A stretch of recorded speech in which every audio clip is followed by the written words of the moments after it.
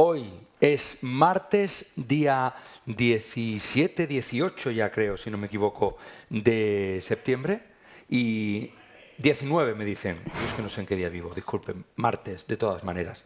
Martes eh, ya y hoy tenemos que hablar, de muchos temas. Tenemos un programa repleto de contenido, pero no podemos dejar de empezar el programa hablando de esas 50 reducciones de condena y 8 escarcelaciones que ha dado a conocer en el día de ayer la audiencia de Cádiz y Ceuta, que asegura que son fruto de la aplicación de la ley del sí solo sí. Y además de eso, también en nuestra provincia de Cádiz tenemos preocupación. Preocupación por los mosquitos. Mosquitos que mm, parecen que vuelven a darnos un poco la tabarra. En, eh, pocas personas los síntomas eh, de la picadura de esta nueva especie de el mosquito portador del virus del Nilo eh, suelen ser especialmente grave, pero sí es cierto que si tienen fiebre alta, dolor de cabeza, rigidez en el, en el cuello, un poco de desorientación, o incluso temblores, entre otros eh, síntomas, recuerden que es importante que acudan a su médico. En Andalucía ya se han detectado mosquitos infectados con el virus del Niro occidental y está presente en nuestra provincia de Cádiz. Eh, por lo tanto, importantísimo que eh, lo tengan en cuenta, el año pasado ya tuvimos casos en Vejer, este año la densidad de población de los mosquitos es muy alta en la localidad vejeriega y en Barbate, así que eh, tengan especial cuidado, ya saben, eh, tienen que ir con ropa eh, pues larga, de mangas largas, y utilizar repelente de mosquitos para evitar su picadura. El programa de prevención sigue sus pasos y en las diferentes eh, localidades se está actuando para evitar cualquier problema. Y por otro lado, hay que decir que en Barbate no solo tienen el problema del mosquito con este virus del Nilo, sino también tienen el problema de este lugar. El campo del fútbol del Barbate Club de Fútbol sigue siendo motivo de disputa. Padres y madres convocaron la semana pasada una concentración que se celebra hoy, martes, en las puertas del ayuntamiento. La mejora del campo que aseguran que es todo un patatal. Además, peligroso para los chicos que pueden lesionarse jugando en un campo que a pesar de haber cambiado no hace mucho el césped de natural a artificial, lo cierto es que el cambio no ha sido para mejor, sino todo lo contrario. Además de eso, hay que dar la enhorabuena a una chica, una chica Claudia Aragón, que estará en la concentración de captación de talentos deportivos de la mano de la Federación Española de Gimnasia. Eh, desde aquí, pues eh, aplaudimos y felicitamos a Claudia del Club Gimnasia Chiclana. Y con estas eh, malas y buenas noticias, empezamos un programa que hoy tiene mucho que decir. Así que arranca más de cerca.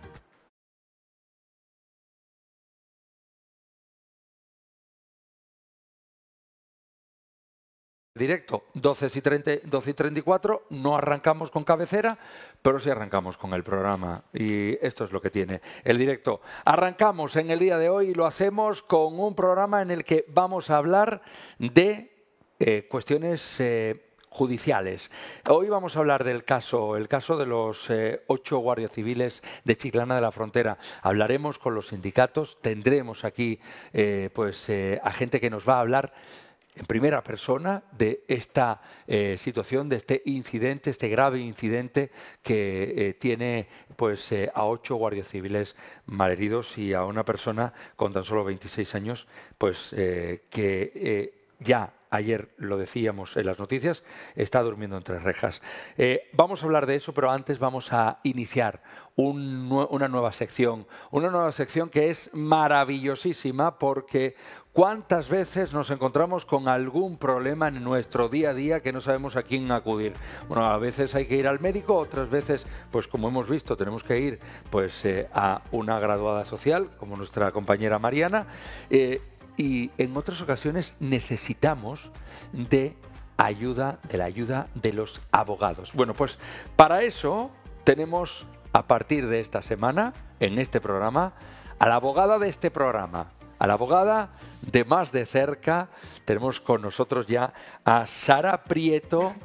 Bienvenida, muy buenas, buenos días, buenas tardes. Esta es una hora muy rara. ¿Qué tal, Sara? Muy bien, Guillermo, yo encantada de estar aquí con vosotros. Sara ya la conocemos porque ella ha tenido alguna que otra incursión en el programa y cuando hemos tenido que hablar de alguna cuestión legal, pues eh, hemos recurrido a profesionales. Y es que, Sara, qué importante es acudir a profesionales. Por supuesto que sí. Muy importante. Eh, porque además, no solo cuando tenemos problemas, sino incluso antes. Para Vosotros sois eh, profesionales, yo os comparo a los médicos. Fíjate. Porque muchas veces hay gente que va al médico porque se siente mal. Y en ocasiones no hace falta ir al médico simplemente porque te sientes mal, sino para recibir algún consejo médico para no llegar a estar mal. En vuestro caso es igual, ¿no? Exacto. Eh, muchas veces acudir a un abogado antes de tener el problema es lo necesario y lo que se debe de hacer.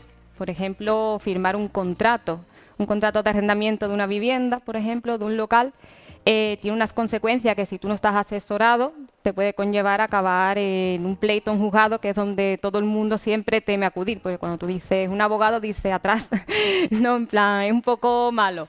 No, no tiene por qué. Es bueno asesorarse, eh, firmar un acuerdo privado, informarte de cualquier trámite de una hipoteca, pedir un préstamo e incluso una multa de circulación. Es bueno también acudir a un abogado porque quizás esa multa es nula por cualquier circunstancia, no lo sabes y estás pagando por ello.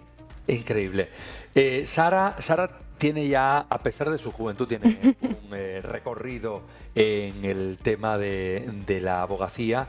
Eh, además, lo que más me gusta de nuestra nueva colaboradora es que tiene un apellido muy bonito no el Prieto también, sino que es una abogada multidisciplinar. Es decir, que vamos a poder hablar con ella de múltiples temas, vamos a hablar de muchas cosas y vamos a poder plantearle muchas cuestiones. Recuerden que como el programa es en directo, lo he repetido ya, en yo creo que es la tercera vez, son las 12 y 38 minutos, eh, estamos en directo, tenéis un número de teléfono, el 621-221-230, donde podéis enviar mensajes a través de WhatsApp. Si escanean ese código, les va a abrir directamente el WhatsApp en el teléfono móvil y van a poder comunicarse con nosotros. Y además también tienen nuestro Facebook, donde estamos en directo y donde van a poder también dejar comentarios y preguntas si quieren para que lleguen a nuestros colaboradores, no solo a Sara, sino a todos los colaboradores, cada día uno eh, que aparecen por aquí, por este programa más de cerca. Eh, y entonces decía que, bueno, que tenemos la suerte de tener a una persona que va a poder hablar de múltiples temas. Eh, que vamos a poder hablar contigo de muchas cosas, pero a mí hoy me gustaría hablar de cuestiones básicas, cuestiones de eh, cuándo se necesita un abogado y tú has hablado de algunas cuestiones que realmente vosotros estáis hasta en la sopa. Es decir, en cualquier trámite la ayuda de un abogado no está de más. No porque has hablado de la firma de un contrato de arrendamiento, de alquiler, que muchas veces lo firmamos sin leer y no entendemos nada, porque vosotros los abogados, y esto es casi casi crítica, tenéis vuestro propio lenguaje. Exacto. Y a veces necesitamos... Yo lo he buscado en Google Translator y no aparece, pero el vocabulario es muy específico, ¿no? Sí, en los contratos sobre todo cuando te incluyen las cláusulas, eh, te utilizan un léxico que quizás tú habitualmente no tienes por qué entenderlo. Entonces, acudir a un abogado o una persona que sepa traducirte a palabras coloquiales lo que significa, pues es muy bueno, porque quizás, vamos, hay clientes que tú le explicas lo que va a firmar o quizás hubiera firmado y te dice, pues yo no sabía que estaba firmando esto o yo no tenía idea de esto y las letras pequeñas hay que tener mucho cuidado. Sara, a lo largo de tu carrera, si tuvieras que hacer un recuento de los casos que has tenido y de las temáticas, ¿cuáles son los casos que más se repiten? Es decir, ¿cuáles son los motivos por los que llega alguien y dice, Sara, necesito tu ayuda? Pues mira, eh, voy a reiterar lo de los contratos porque muchas veces vienen por reclamaciones de cantidad.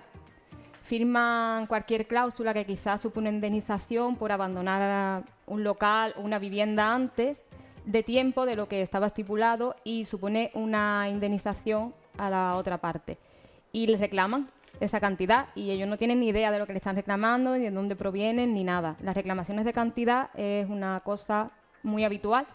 Una compra de materiales, por ejemplo, eh, la deja sin pagar, se produce una reclamación por parte de la empresa y quizás tú te habías olvidado de que debías esos materiales, pues eso también es muy habitual además, eso es muy común, ¿no? En la zona donde estamos, eh, los contratos de alquiler proliferan muchísimo. Es una zona mm, de, alquileres. turística también. Claro, alquileres vacacionales. Eh, además, viene muchísima gente a trabajar y por lo tanto necesita eh, contratos de mm, una vivienda para vivir durante una temporada y eso es muy común. por ejemplo, si eso es lo más común, si tú tuvieras que dar ahora mismo un consejo genérico, porque tengo, vamos a decir una cosa que a mí me gustaría que también puntualizáramos, y Sara imagino que me va a dar la razón, mm, aquí en este programa vamos a hablar de manera genérica, porque cada caso es, absolutamente diferente. Aunque parezca igual, aunque tú hables con un vecino, un familiar, un amigo y diga, le comentes cualquier cuestión que te esté sucediendo y diga, pues a mí me pasó lo mismo, nunca es igual jamás.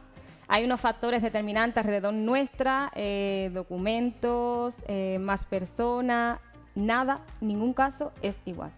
Ni el juzgado, quizás si va juzgado en el que el juez, eh, todo lo que te toque, no es igual. Y cuidado también con Google, porque antes ha hecho hincapié que para buscar el léxico en Google y tal, hay que tener cuidado con Google porque muchas veces lees sí es cierto que en una milésima de segundo tenemos información y respuesta y eso es maravilloso, pero hay que aplicarlo específicamente a tu cuestión y a tu asunto y lo que estás viviendo en ese momento. Es como si tienes una dolencia, lo pones en Google, seguramente lo que te salga no sea bueno. Por eso es mejor acudir al médico y que te dé pautas a seguir. Lo mismo también con asuntos legales. Lo buscamos en Google y seguramente estamos a punto de pisar la cárcel. Exacto, exacto. Entonces, cuidado, hay que acudir al profesional, asesorarse, que te va a ahorrar, muchas veces te ahorra tiempo y dinero futuro. Bueno, vamos a hablar del tema del dinero, porque eso es otra cuestión. Eh, hay mucha gente que piensa que un abogado siempre es caro. Sí, siempre. ¿Y siempre es caro? No considero que sea caro. Realmente te está haciendo ahorrarte un problema que si abonas un dinero en un presente, en un futuro quizás sea mayor. Fíjate, yo, yo hablaba, eh, hablaba con, mi abogado de toda la vida, ¿no? Eh, recientemente, y yo le decía a él, eh, no hace mucho, le decía, mira, tengo una cuestión que no sé cómo está, necesito saber cómo está. Esto no me lo llevas tú, pero quiero que me lo lleves tú. Quiero que tú lo revises, lo mires, me digas cómo está y que me digas cuánto es pero necesito estar tranquilo. Y es que eso es, eso es una de las cuestiones que la gente no valora. Hay, una, eh, hay algo que conseguimos con los abogados y es tranquilidad. Tranquilidad, confianza. ¿Verdad? El, mm. estar tranquilos. Y la tranquilidad vale muchísimo. Sí. Porque el hecho de decir tú, estoy tranquilo. Sé que hay un profesional que está llevando este asunto y que da igual. Sí, también es cierto que el abogado trabaja, pone toda su profesionalidad, su empeño, pero tampoco te garantiza el resultado. Acudir a un juicio, a un pleito, no significa que vayas a obtener una sentencia favorable simplemente por el hecho de acudir. Como te he dicho anteriormente, hay muchos factores adicionales que no solo es tu trabajo. Tú puedes realizar tu trabajo bien y estás conforme con lo que has hecho, pero no todo depende de ti. Bueno, vamos a volver. Eh, me has dicho que uno de, las, de los casos más comunes y que más se repiten es el tema del alquiler. Si tuvieras que dar un consejo rápido y genérico sobre qué hacer o qué tener en cuenta para no meterte en, ningún lío con el tema del alquiler, ¿qué sería? Pues en primer lugar, que no se descargue a la persona que realiza un contrato un formulario de Internet en primer lugar, que acuda a un profesional que le redacte las cláusulas que él considere que debe de contener su contrato y a la hora de firmar o la persona firmante de ese contrato también que se asesore para saber 100% lo que está firmando. Es igual que cuando acudes a notaría a hacer una firma pública. La notaria siempre te explica las cláusulas que vas a firmar para que tú seas consciente y que no actúe nadie bajo mala fe de hacerte o firmar algo que te vaya a perjudicar. Pero sobre todo que sea redactado por un profesional. Eso es importantísimo. Eh, después, eh, la palabra clave, vamos, si te parece, cada semana vamos a, vamos a aprender una palabra. si tuviéramos que sacar del glosario, del vocabulario eh, legal, de los contratos, una de las palabras que más difícil le resulte a la gente asimilar, entender, ¿qué palabra hay de estas del vocabulario legal que tú extraerías y explicarías ahora? Pues por ejemplo, mm, ¿qué palabras? Hay miles. Pero por ejemplo, como estamos hablando de los contratos, ¿vale? Pues mira, por ejemplo, eh, cláusula penal. Vale. ¿Vale? Puedes entender penal como que vas a ir a la cárcel. Totalmente. Yo veo penal, yo me asusto. Exacto. Pues lo que significa es lo que te he dicho anteriormente, que quizás es pagar una cantidad de dinero porque incumplas ese determinado contrato. Vale. O sea, si vemos la palabra penal no significa que nos tengamos que asustar Exacto, que no te van a poner las esposas para ir directamente a prisión. Vale, dependiendo del contenido en que se encuentre, tiene un significado o tiene otro totalmente distinto. Genial.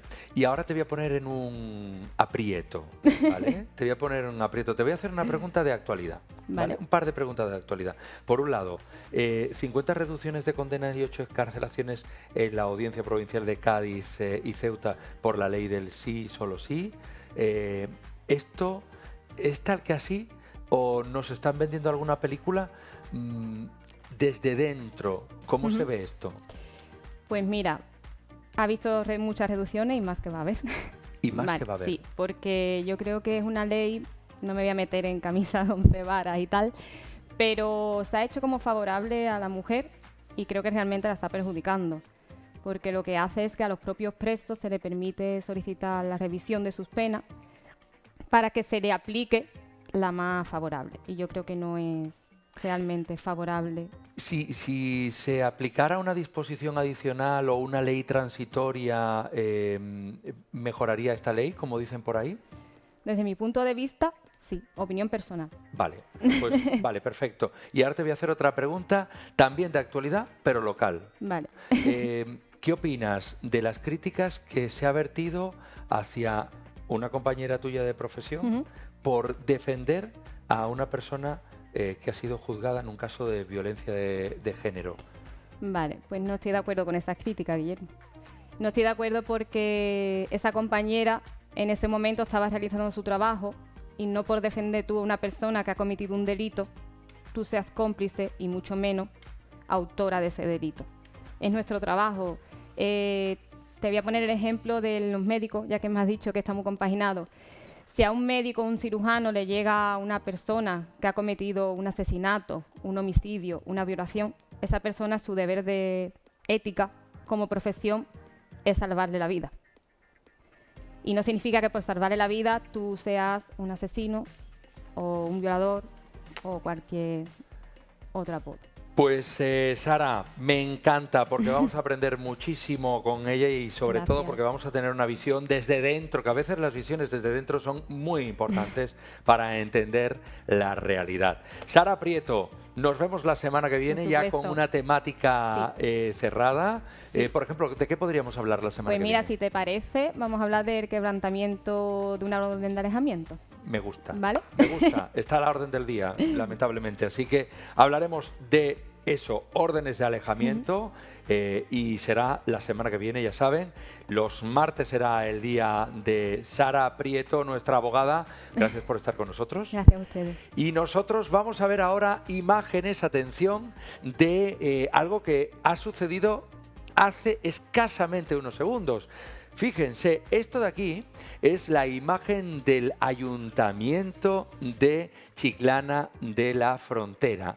Eh, pero si se fijan, parece diferente. Bueno, pues es diferente porque es una maqueta, una maqueta a tamaño reducido que, eh, sin lugar a dudas, tiene todo lujo de detalles. Bueno, pues esta maqueta la ha hecho eh, pues, una persona, como están viendo ahí, José Sánchez Ruiz, y pues se le ha entregado a el eh, ayuntamiento, al alcalde de la ciudad esta misma mañana. Una maqueta que van a disfrutar los chiclaneros y que, bueno, mm, todavía no lo sabemos, pero en Tuya Noticias nos lo contarán seguramente. No sabemos dónde va a estar ubicada ni qué es lo que van a hacer finalmente con ella, pero a mí me parece espectacular, una verdadera maravilla de maqueta que van a poder eh, y que están viendo en este momento aquí en directo. Cuando son las 12 y 51 y cuando vamos en este momento a hablar con otro de los protagonistas del día de hoy. Eh, vamos a hablar de un caso que ha sido noticia a nivel nacional. Lamentablemente hay que hablar de seguridad y en este caso de la seguridad de aquellos que nos permiten estar seguros a nosotros. Eh, muchas veces hablamos de los cuerpos de seguridad y tenemos una imagen de ellos como que están para poner multas. Y no es así, están para nuestra seguridad, pero la pregunta es, ¿quién cuida de ellos? ¿Quiénes les aseguran esa seguridad a ellos? Ocho guardias civiles de Chiclana de la Frontera fueron agredidos eh, por un varón de 26 años, natural de Chiclana de la Frontera, en la noche del sábado. Eh, una persona que después de retirar eh, pues, una porra, pues se lió a golpes con los guardias civiles. Terminó siendo arrestado en esa gasolinera que están viendo ahí en un vídeo que se ha difundido a través de redes sociales y que ha dado la vuelta al mundo. Eh, uno de los eh, arrestos más complicados, más complejos y sobre todo que ha resultado eh, más doloroso para los agentes después de ese ataque, de ese atentado. Para hablar de esto tenemos con nosotros al portavoz provincial del sindicato Jucil en Cádiz, Agustín Domínguez. Muy buenas tardes. Muy buenas tardes. ¿Qué tal? Lo primero, ¿cómo están las personas afectadas? Bueno, los compañeros más graves, pues de, la información que son, que son ocho compañeros heridos, pero claro, heridos graves son tres. Es el compañero que sufre el golpe en la cabeza, el otro compañero que sufre el golpe en el brazo, que evita que ese golpe vaya a la cabeza, el segundo golpe que va a la cabeza al compañero, que le parte el brazo, y otro compañero que tiene un esguince de, de toyo grado 2, que en la misma trifulca pues, se, le, se torció el tobillo. Los demás compañeros tienen lesiones, pero son lesiones típicas de, intentar arrestar a una persona que no se deja. Eh, golpes y lo normal. ¿Esto eh, no es habitual o sí? Esto lo tenéis que sufrir porque yo alucino. Es decir, eh, vuestra profesión es una profesión de riesgo considerada por los ciudadanos, pero no por el, por el gobierno. Nuestra profesión, de hecho, es una de las reivindicaciones que tiene Jucil, que es que se reconozca como profesión de riesgo tanto la Policía Nacional como la Guardia Civil, que no lo somos. O sea, todas las policías locales, autonómicas, son reconocidas como profesión de riesgo, menos la Guardia Civil y la Policía Nacional. Bueno, pues este caso yo creo que mm, bueno, lo deja clarísimo, ¿no? Este y muchos casos que se están dando cada vez más porque cada vez está siendo más habitual el, agredir a un, a un agente que, porque la ley es laxa en, en esas cuestiones. Em, ha habido muchísimas reacciones en redes sociales. Eh, cuando hemos subido nosotros, por ejemplo, la noticia, hay mucha gente que lo primero que ha dicho, y la mayoría de los comentarios van en la línea de, y mañana estará en la calle. Bueno, en este caso hemos tenido la, suerte, entre comillas, de que no, de que ha ingresado en prisión, no sé sabe cuánto tiempo, me imagino que no estará mucho, pero en este caso sí ha ido, ha ido a prisión, ya no sé si por el tema mediático o por qué, pero sí ha ingresado. Ha habido otros casos no tan graves como este, que lo, han soltado en el mismo momento, o sea, agresiones de este tipo no tan virulentas, pero agresiones de este tipo estamos teniendo cada dos por tres, ya no solo en Chiclana, sino a nivel nacional. Eh, ¿Qué, ha podido fallar para que se dé un caso como este, eh, tan eh, increíble? Bueno, es que el problema no es el fallo en sí, sino es la pérdida de, autoridad que se está teniendo. Ya a la gente le da igual. O sea, antiguamente un guardia civil, un policía, tenía ese principio de autoridad que esa gente o ese tipo de personas que, que van al borde de la ley, pues siempre limitaban un poco el, este tipo de acciones. Eso se está perdiendo. O sea, ya llega un momento que por una simple denuncia de tráfico una persona se cree con derecho de insultar a los agentes de, cualquier tipo de, manifestaciones. Lógicamente no se llega a este punto de agresividad, pero cada vez se está viendo con más frecuencia. Eh, en esta televisión somos muy propensos a eh, visibilizar eh, la labor que hace la Guardia Civil y estamos siempre en contacto con las diferentes comandancias de la Guardia Civil, la comandancia de aquí de Cádiz y los diferentes compañeros que están en el resto de la comarca de la Janda, porque nos parece importantísimo precisamente para eso, para mantener porque yo creo que la gente tendría que tener claro, ¿no? mantener ese respeto y admiración a un cuerpo que eh, finalmente lo que está haciendo es una labor, eh, un, servicio ciudadano, un, servicio público. ¿no? Es, muy sencillo, yo creo que hay que empezar desde, pequeño. ¿no? Es el típico cuando ve un padre o un guardia civil y dice, no, no, llévatelo a él. Ya le están metiendo un miedo al niño que no es, que no es bueno. O sea, hay que decirlo, oye, que están aquí para ayudarte, oye, que están aquí para, hay que empezar desde ahí. Y después ya es el problema en sí, yo creo que viene ya mm, desde hace ya bastante tiempo.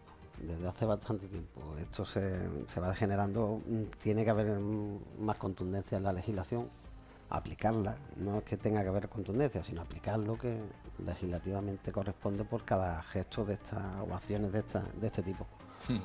Em, Agustín, hay muchas cuestiones que venís eh, pidiendo, que venís eh, reclamando. Desde hace mucho tiempo, habrá quien crea que esto surge, ahora estas reclamaciones surgen a raíz de este incidente del sábado, pero eh, desde Jucil, desde el sindicato, lleváis mucho tiempo haciendo algunas peticiones que con este caso queda patente que no es Mm, porque queráis y porque os haya, se os haya antojado. No, miren, nosotros llevamos ya, desde Jucil lleva ya más de cinco años haciendo peticiones, que mucha gente se cree que, es solo dinero. No, nosotros no, no solo pedimos dinero, pedimos la equiparación con otras policías, pero no solo en la equiparación en base de dinero, sino también en medios.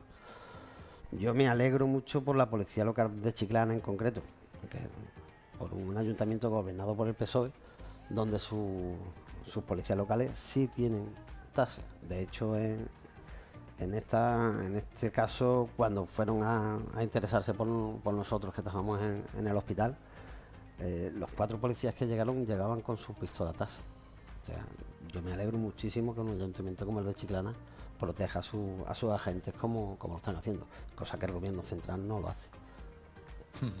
Por ejemplo, eh, nosotros tenemos, eh, hemos visto como en Conil, los agentes de la policía local llevan una cámara personal. Sí, eso, eso, lo tenéis vosotros. Eso además lo solicitamos en un principio desde aquí, desde, desde Cádiz. Eh, porque aparte de darnos una protección, porque se está viendo toda la acción completa, no un trozo sesgado de un vídeo que, que siempre, claro, si el vídeo que se ve en la gasolinera vemos solamente cuando nos echamos encima de él, pues, oye, como dicen muchos, no hay que ver la paliza que le están dando, hay que verlo todo hay que ver todo el vídeo. Entonces nosotros una de las reclamaciones que llevamos, además ya le digo, salió desde aquí, desde, desde Cádiz, en un principio, el llevar cámaras de personales. Yo llevaba una cámara personal y a mí me la, me la hicieron quitar. Me la hicieron quitar. Eh, estas reclamaciones, eh, equiparación salarial a otros eh, cuerpos de seguridad, equipación, herramientas de trabajo, que lleváis tanto tiempo haciéndolas después de un hecho como este, ¿Se ha recibido alguna llamada? No. ¿Se ha cambiado algo? Eh, ¿Se ha visto desde arriba que realmente es necesario? No, mira, tenemos el caso muy concreto, además fue lamentable por, la situación, de un compañero que falleció por un disparo hace ya unos años, eh, porque le quitaron la pistola. Llevamos la funda que llevábamos nosotros oficial, no era de, de extracción, o sea, se le podía extraer y un delincuente le extrajo la pistola y le pegó un tiro. A raíz de ahí, hasta hace menos de un mes, dos meses, nos han dado una, funda de, extracción, o sea, de antiurto. O sea, eso ocurrió hace... Eso ocurrió hace unos tres años más. Tres años. Y hasta hace unos meses no os han actualizado la funda de la pistola.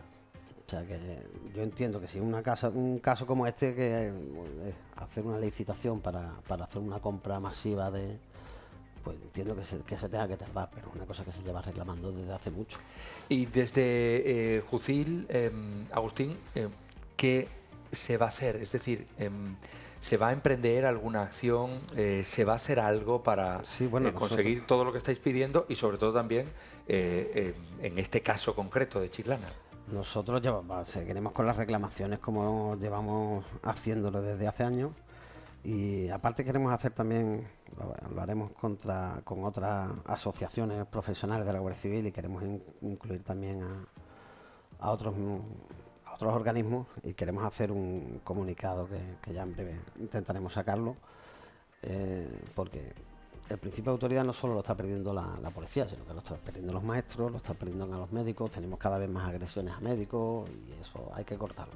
Eso hay que hacer algo y ponerlo en, en boca y que se sepa. El, seguir protestando e invirtiendo para que se invierta en seguridad, pues sí, vamos a seguir porque lo tenemos muy claro. que invertir en seguridad es beneficio para el ciudadano. O sea, todo lo que tengamos de beneficio nosotros en cuestiones materiales, en cuestiones, pues es un beneficio claro pa- para, el ciudadano y seguiremos insistiendo hasta que por lo menos tengamos por lo menos una respuesta del gobierno que todavía no la tenemos. Bueno, nosotros esperamos que, que haya respuestas, eh, que este caso y estos tres compañeros que están heridos de gravedad, más otros cinco eh, que también resultaron heridos en este, en este incidente del sábado, sirva al menos para que quienes tienen que hacer algo lo hagan y se den cuenta eh, de, de lo que yo preguntaba, porque te lo pregunto a ti, Agustín, ¿quién cuida de los que nos cuidan? Pues por desgracia nosotros mismos. Porque tenemos que comprar nosotros los materiales. Ya hace poco que tenemos chaleco, pero antes teníamos que comprar nosotros propios chaleco personal. eh, teníamos que comprar linternas porque si queremos ver, tenemos, nos cuidamos nosotros mismos por desgracia. A, a mí me parece mm, de verdad una bestialidad, porque eh, solo se me viene a la cabeza cuántas veces hemos hablado en Chiclana de la necesidad de una comisaría, de la, una nueva comisaría para la Guardia Civil, eh, y no, no reparamos en otras cuestiones que quizás sean todavía más importantes. Claro. Aquí eh, el aumento de personal. Nosotros estamos viendo que, cada vez tenemos menos personal y cada vez Chiclana es más grande. Entonces nosotros necesitaremos personal en Chiclana para un servicio efectivo. Esta noche en concreto dio la casualidad que estábamos cuatro patrullas. No es lo normal en, estos últimos tiempos. La falta de personal es evidente. Eh, Agustín, una última pregunta y ya con esto terminamos. Em, eh, hablas de la falta de personal, hablas eh, de las necesidades de, de este colectivo, pero a mí me gustaría saber si la provincia de Cádiz es segura, Sí. si este caso que hemos visto es excepcional Sí. y si tú me puedes decir, la Guardia Civil eh, vela, velará y los ciudadanos pueden estar tranquilos. Lo- Podemos eso- estar tranquilos a pesar del incremento poblacional en verano, eh, eh, a pesar del incremento poblacional general eh, de, las, de los municipios. Eso lo- es, es evidente. O sea, es evidente que nosotros vamos a seguir siendo la policía, espero mejor valorada porque tenemos los servicios que estamos haciendo y no lo vamos a dejar de hacer, lógicamente, por mucha falta de personal que tengamos. Y Cádiz es segura, o sea, la provincia de Cádiz, teniendo en cuenta todo lo que tenemos, narcotráfico, inmigración, turismo, es una de las más seguras. Y gracias a la labor de, todos los policías, guardias civiles y todos los organismos que velamos por ello.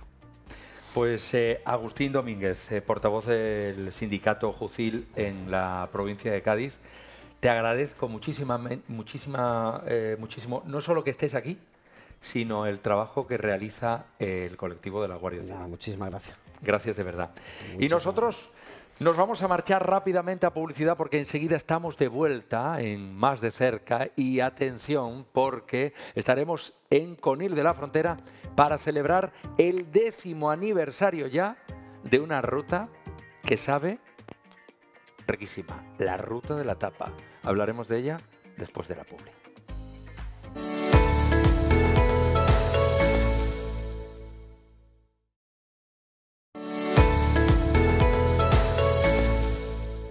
La una y nueve minutos, estamos en directo como decimos y dentro de un ratito vamos a conectar con Conil de la Frontera. Estaremos con nuestro compañero Alberto Ayuso, que es el que está allí, no puede ser otro, eh, el que esté, eh, porque vamos a hablar de gastronomía y ya saben que Alberto y gastronomía van unidos.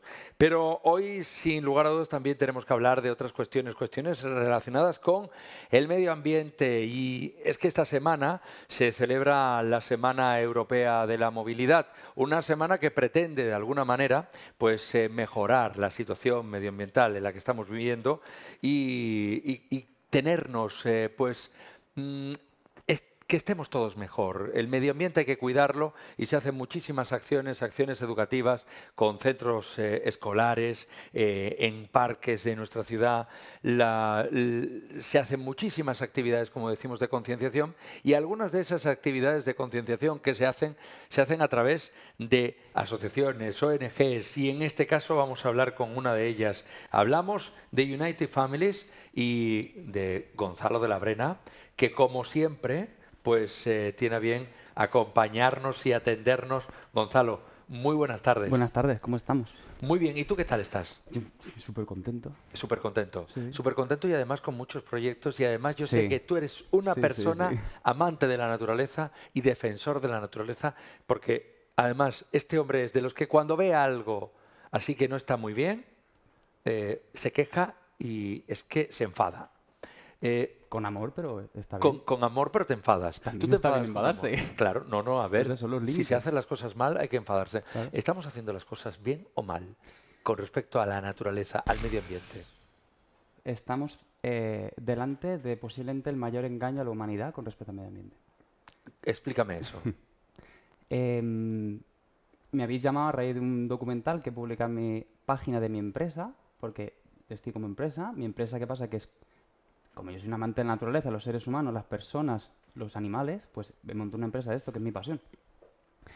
Entonces, se está intentando que el ser humano viva en ciudades de 15 minutos, ecológicas, que comamos carne manipulada hecha en laboratorio, que comamos insectos que son dañinos para el ser humano y que comamos pastillas de vitaminas de cultivos manipulados genéticamente.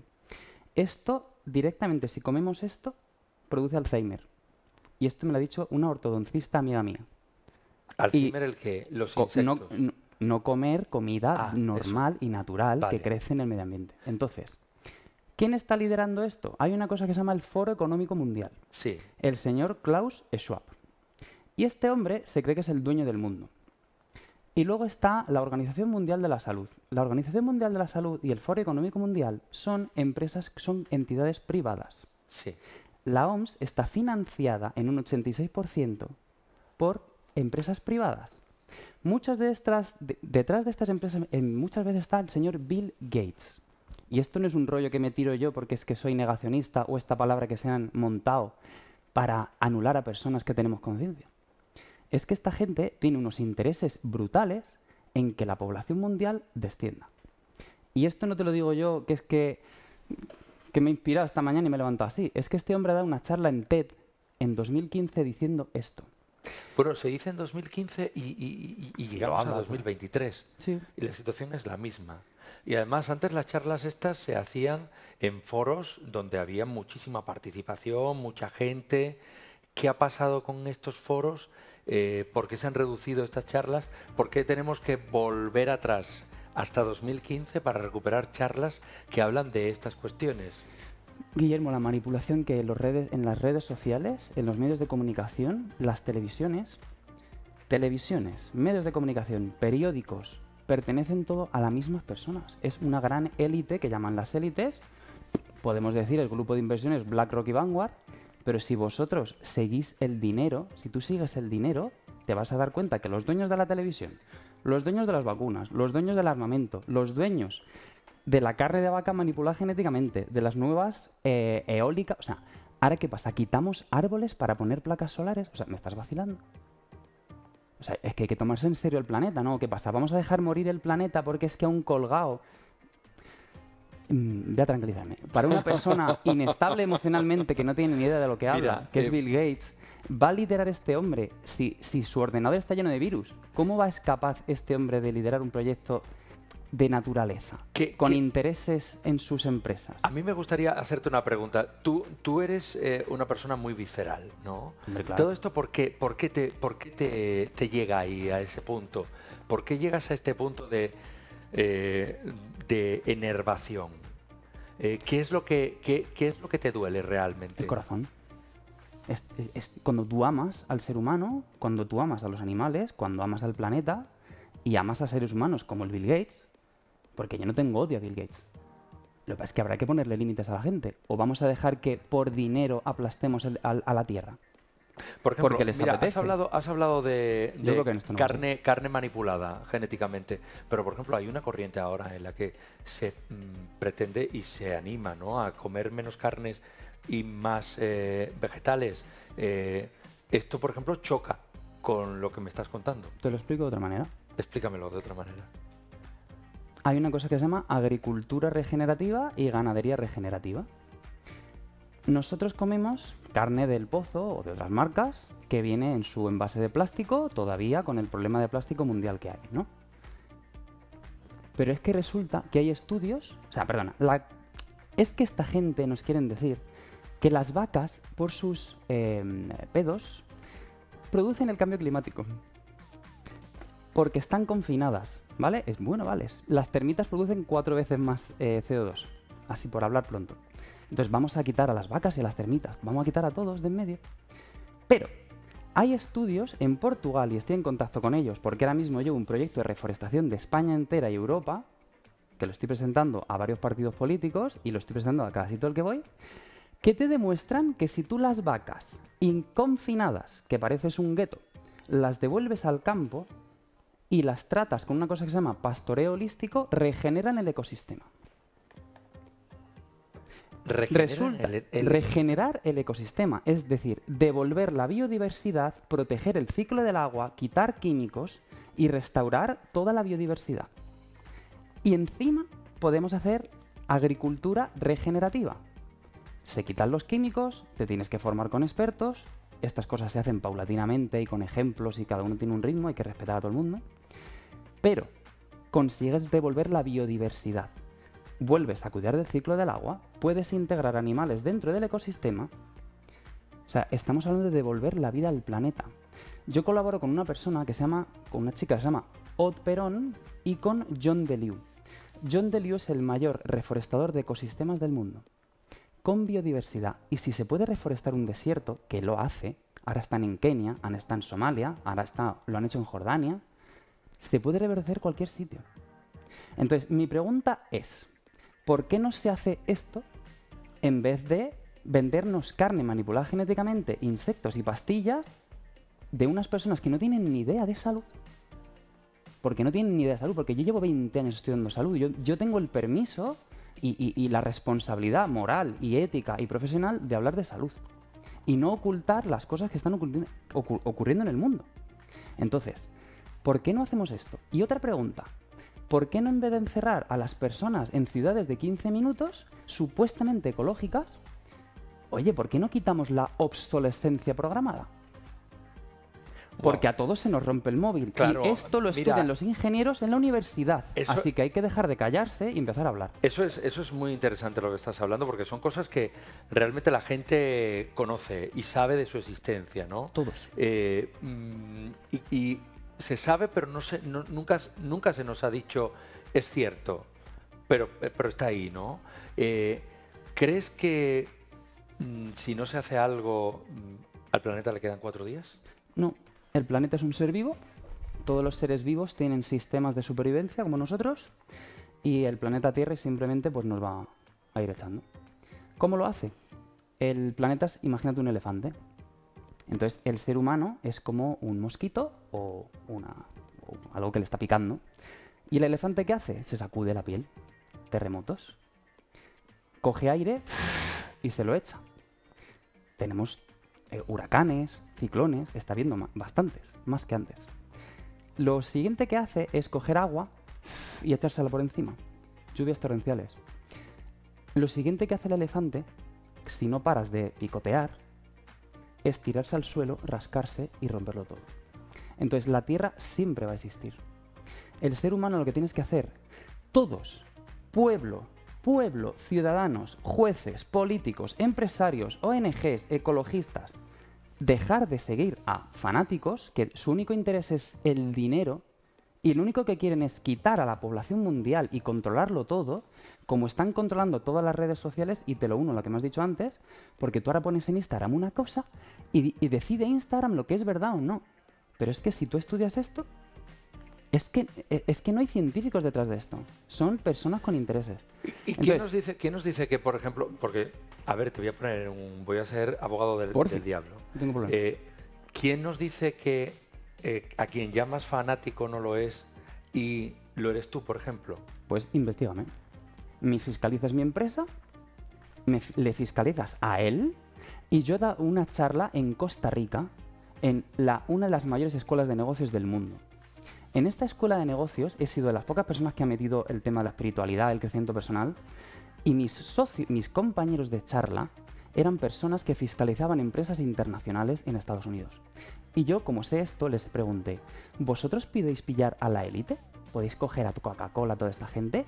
Y la persona me dijo que no. Son intocables. Entonces, ahora te cuento otra cosa. Sí. A mí me han ofrecido, por mi proyecto de United Families, narcotraficantes de varios países me han ofrecido dinero. Y como los quiero, digo, oye, mira, yo creo que te has equivocado de persona, igualmente es una terapia. Me han ofrecido personas para meter en el tercer mundo, para quitar madera a países, no voy a decir el sitio ni la persona porque mm, se merece mi respeto también, igual ha cambiado. Para quitar la madera querían meter una empresa farmacológica y mm, unos militares para quitar al, al gobierno de allí, meter un gobierno suyo, meter empresa farmacológica y quitar las materias primas. Esto me parece que no debe... eh, o sea, esto se entiende. Esto se entiende. Esto me lo han ofrecido a mí. Que pasa es que yo eh, me he protegido a mí mismo y... O sea, esto está clarísimo. Yo tengo amigos, gente, brokers de empresas internacionales, y cuando yo les cuento esto, dicen, Gonzalo, es así. Cuando tú haces una guerra en un sitio, sube el precio de la soja en otro. Entonces, yo creo que la gente, por favor, dejar de callaros. Dejar de callaros. Por favor, con amor, respeto, amabilidad, pero dejar de callaros, decir la verdad, que no pasa nada. Gonzalo de la Brena, a mí me parece increíble. eh, es casi, casi película de ficción todo lo que cuentas. Pues. Entonces es, es increíble, es, muy complicado, ¿no? Eh, meterlo ahí en, en- en la cabeza y ver ese, ese mundo de esa manera, pero, pero bueno, eh, ahí lo tenemos. Es una visión que a mí me gusta que también la, la ofrezcas, que, que la, eh, que la expongas y que la gente pueda conocerla. Y, y de verdad, a mí lo que más me preocupa y lo que nos preocupa en esta televisión, sobre todo, es esa situación que estamos viviendo, que lo que sí es cierto es que el cambio climático es una realidad. Es una realidad. Y desde aquí apoyamos siempre a cualquier institución, asociación eh, y, y empresa que luche contra ese cambio climático y por la supervivencia de la naturaleza y de quienes con- eh, convivimos ¿no? en, en este espacio.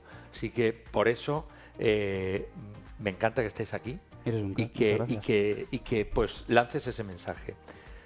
Gonzalo, Podemos decirle a la gente que me sigan.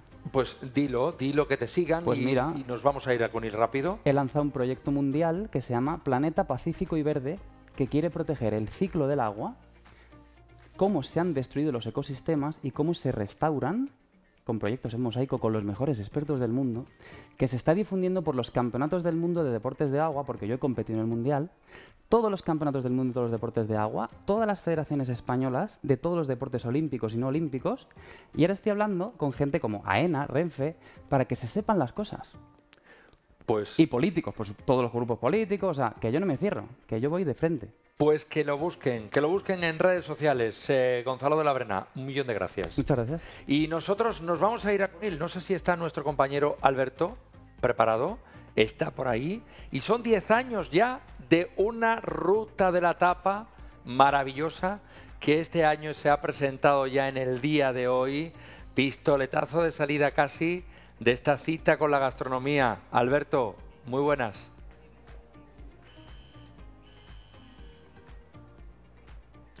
Pues muy buenas, Guillermo. Efectivamente, 10 años de la Ruta de la Tapa, ahí es nada, en Conil de la Frontera. Y bueno, pues hace nada, hace minutitos que se ha presentado esta décima edición aquí en la sala José Velarde, en Conil de la Frontera. Yo ya tengo mi folleto, mi tapaporte, mi todo en la mano, porque estos 10 años llegan con novedades y, por supuesto, con un amplio número de participantes, que yo creo que es lo que busca la Asociación de Empresarios. ¿Verdad, Juan? ¿Y qué tal? Hola, ¿qué tal?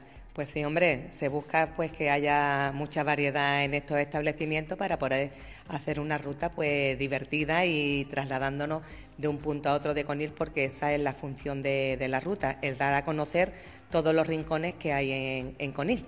Entonces... Y Lola, 10 años, 10 años que hay es nada, ¿eh? Parece, parece, mentira, ¿no? La verdad que parece mentira, pero mira, se van cumpliendo, ¿eh? Y la ruta va madurando y, ha venido para quedarse. La verdad que cada vez la gente se preocupa más de tener una etapa eh, agradable al paladar, bonita a la vista y cada uno tiene su pequeña competición entre los establecimientos, que también es lo que se busca, ¿no? De buscar una cosa con calidad. Y la gastronomía nuestra, ya sabéis lo bien que anda en calidad y en todo ya está cogiendo prestigio en todas partes, pues en esta ruta es una manera de mostrar y además de tapa en tapa es lo que dice Juan y vas paseando por la calle, hay ambiente en la calle, yo no he probado esta, me falta la otra y se suscita una curiosidad que es entrañable, la verdad que sí. Y además tenemos que, tenemos que decir que con motivo de este décimo aniversario hay novedades y muy importantes, ¿no, no Juan? ¿Y cuáles son esas novedades? Bueno, pues la novedad es que hemos pensado en hacer siempre cuando se hace la ruta, por eso lo de tapaporte, el sellar para y votar tú la tapa como cliente de estos lugares es para votar tú la tapa más vota, más que más ya te haya gustado como el postre. Y entonces hemos pensado que bueno, que es un número redondo, es un número 10 y hemos pensado pues en hacer también un premio profesional. Entonces, pues nos hemos puesto en contacto con unas personas que nos han dicho que sin problema van a venir el mismo día que se va a iniciar la ruta por la mañana. Todos aquellos que participan, que no, no porque participen, tienen que participar en esta degustación que van a hacer este jurado. En el concurso, En el concurso de, profesional, ellos lo van a, a degustar se va a hacer todo, se va a redactar el acta, ellas van a poner la tapa y el postre que más les ha gustado a estas personas y al finalizar la ruta de la tapa, pues se abrirá ese, sobre y al igual que se hace el recuento de todos los tapaportes y se ve qué, tapa y qué postre ha sido el más votado, pues se dirá a la misma vez pues el, más votado por el, voto popular y el, y el más por el voto profesional. Entonces, un poquito para darle un poquito más de, chispa a esta décima ruta de la tapa. Sí, una cosa distinta, una cosa diferente, que, es lo que se busca, además con, con una cifra tan bueno, tan especial, ¿no? Como son esos primeros esos primeros 10 años. Entonces vamos a tener dos premios, ¿no? El que elija, bueno, el pueblo, ¿no? Con, sus votaciones y demás, y luego el que elijan esos maestros, maestras de la, de la cocina con su criterio profesional, claro. Evidentemente, uno va a ser a nivel de usuario, a nivel particular de cada cual, va a demostrar lo que más le apetece en la que más le guste y la otra va a ser ya un jurado profesional que va a mirar otros detalles que, claro, a nivel de usuario, a nivel de comensal, pues principalmente nos Muchas veces no tenemos ese no tenemos ese paladar, Exacto, ya sabes, ya ellos miran detalles que se nos escapan a la mayoría. Bueno, y además, porque vemos también como novedad que se ha unado todo, ¿no? Absolutamente lo, eh, el, mapa, porque claro, antes teníamos que llevar el mapa por un lado, el tapaporte por otro, y quizás era un poco de lío, o perdía el tapaporte o, perdía, o perdíamos el mapa. Pues solución, a problemas soluciones, ¿verdad? Lo unificamos. Pues sí, parece increíble, pero lo hemos unificado todo en una forma de llevar, llevar el mapa de Conil, porque bueno, aunque os parezca mentira, vienen muchas personas de fuera de Conil a disfrutar de la ruta de la tapa de Conil. A la vista está que el año pasado el primer premio de ese viaje se lo llevó un portugués. Entonces, que, que, no. Que sepamos que no solamente somos los... le salió bien el viaje al portugués. Exactamente, que no es solamente las personas que vivimos en Conil los que disfrutamos de esta ruta, que muchas personas vienen a disfrutar de la ruta de la etapa de Conil, a pasar el fin de semana, a pasar el día, en fin, y vienen desde todo punto y a la vista está desde, desde tanto desde la provincia como de Andalucía, de España o de fuera de España. Entonces, y también deciros que, que, bueno, a nivel de- del turismo internacional le encanta la ruta de la etapa porque si os fijáis un poquito veréis como cuántos clientes que vienen a visitarnos a Conil, cuántos mm, se están paseando con su tapaporte y buscando las tapas por Conil. Porque es es, que- algo distinto a lo que ellos están acostumbrados a vivir. Entonces, la tapa para ellos es algo distinto de su, mm, su característica de su lugar. Entonces, es Ad- atractivo. Además, tengo que decir que, que este, esta iniciativa ¿no? Eh, es un- está pensada también incluso para atraer a, precisamente a, turismo hasta aquí, hasta Conil, en una época en la que, bueno, en la que ya ha pasado la temporada, la temporada alta, vamos ya camino del, del mes de, del mes de octubre. Y claro, hay mucha gente que incluso viene a Conil seleccionando la fecha de la, de la ruta de, de la tapa, en este caso, ¿no? Claro, Alberto, porque es cierto que también hay un turismo gastronómico, es una realidad que existe. Y una ruta de la tapa, cuando hay tanta participación, lo, lo bueno que es que hay mucha variedad. Entonces, eso le- le- les encanta a la gente. Y lo que decía Juani, que el turista internacional cada día se apunta más. Eso de una tapa y un vino, para ellos eso es algo que no tiene nombre. Y les encanta, lo aprecian y saben valorarlo. Y la alegría que también les transmitimos, los de aquí, las calles, el ambiente que se, que se crea, es muy bonito, es muy bonito. Y entonces, pues cada día el, el turismo gastronómico está más en alza. Bueno, y para terminar ya vamos a explicar, evidentemente yo lo, ade- la- lo has adelantado antes, sigue ese, ese gran premio ¿no? de, de, ese, de ese viaje, en este caso, a, a Tenerife, que todas las personas que, pueden, que, que van a, a participar rellenando su, su tapaporte pueden, eh, pueden lograrlo, ¿no? Hombre, por eso siempre decimos, por favor, rellenen bien el tapaporte, porque nos encontramos mm, muchas veces con tapaportes que lo tenemos que deshacer porque decimos no es válido. Entonces, por favor, leer bien dónde tiene que poner cada cosa y rellenarlo bien con su nombre, con su teléfono y saber qué tapa os ha gustado más y qué postre os ha gustado más, que tengáis el sello correspondiente a lo que estáis votando porque después son votos nulos. Entonces, que bueno, que hay muchos premios, aparte del gran premio que es el viaje. El premio estrella. El premio estrella, hay muchos premios directos y muchos premios que, que, bueno, que después en el sorteo, como decimos, se hace siempre en directo en la radio pública y, y bueno, que lo divertido es participar, aprobar todo lo que nos ofrece. Ponerse esto. las botas. Exactamente.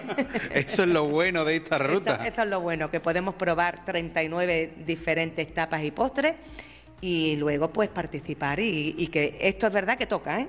No, no, Entonces, no. Que, invitamos, que invitamos a todos. Efectivamente. Que cuando vimos el teléfono dijimos, uy, esto no va a aparecer. A ver, ¿Cómo que no? El apareció. Ah, Alberto. y tanto que apareció, anda que no le vino bien eh, el viaje. Bueno, vino a Conil y se fue además Con un- viaje. con otro viaje. Hizo un dos por uno, pero vamos, pero literal. Y bueno, tenemos que explicar que para participar en eso tienes que, eh, para participar en ese en esos sorteos, a ver, muéstramelo Lola, tenemos que rellenar al menos con un sello, ¿verdad? Si no me equivoco, Juani. Son cinco zonas de ¿Cinco zonas? porque la tapa también, también algo que tiene de particular la ruta de la tapa es que se pone en toda la localidad, en todo el casco urbano, incluso algunos en fuera. Entonces, es una forma de que se visite todo Conil. Entonces está dividido en cinco zonas. Contar de que tú tengas un sello por cada zona, que te hayas desplazado a cada zona, pues ya ese, ese bono es válido y pone el nombre de la tapa que más te ha gustado, el nombre del postre, tu nombre y tu teléfono. El teléfono bien puesto. porque- Por favor. Por favor, porque si no, no podemos contactar con la persona. Y siempre que coincida en la tapa que te está gustando, que, que tenga el sello, porque si no, no es Claro. válido. Entonces siempre hacemos mucho hincapié en esto, que parece una tontería, pero después son votos nulos. Que, que no Que es una ya- lástima después decir, mira, que no te, te, te ha tocado Claro. el viaje a Tenerife y no te lo puedes llevar. Exactamente. Vaya pena. Entonces, Pero bueno. nada, que invitamos a todos desde el 29 de septiembre al 8 de octubre a que vengan a Conil, nos visiten y disfruten pues dando vueltas por Conit y saboreando de estas magníficas tapas y postres.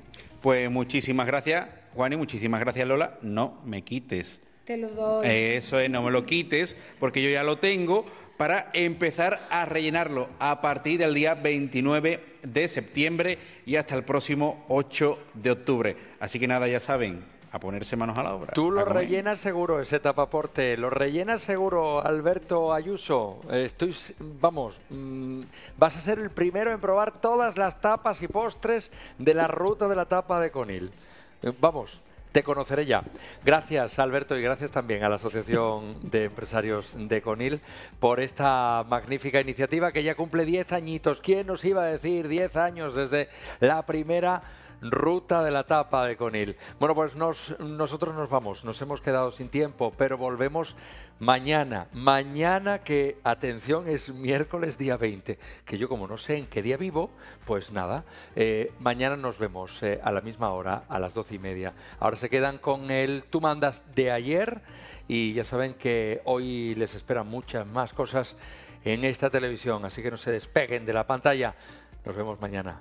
Buenas tardes. Bye.